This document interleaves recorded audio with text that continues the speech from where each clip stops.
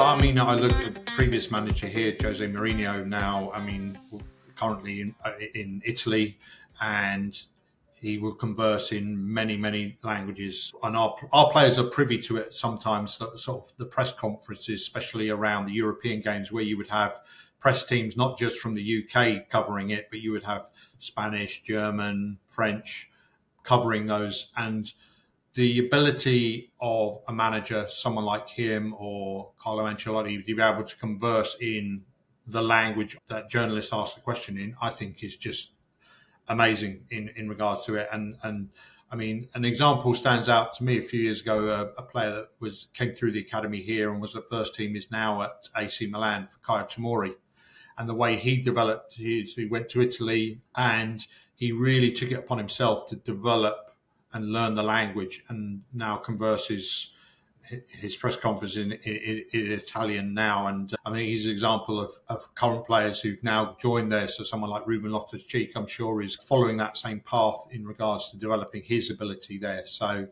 they're just a couple of them. And I mean, it always surprises me sometimes as well because there will be players here who maybe speak another language and don't mention it very often and then they will just come out with it sometimes in in sessions that you're running and and it, there's that wow factor of, of that's a skill that we I didn't know we didn't know that you had and, and, and it's great. And that that boosts them in regard to their confidence element of it as well. But uh, yeah I mean there's there's lots of players here someone like Cesar Azpilicueta who I mean was the club captain until he left us this summer but I mean I was amazed re- reading about him this year now he was awarded um, um, qualification from Harvard Business School where he'd studied in English. He studied a qualification in English, so came to this country, really engrossed himself in, in developing and understanding that language, and then actually studying a formal qualification in that language as a go.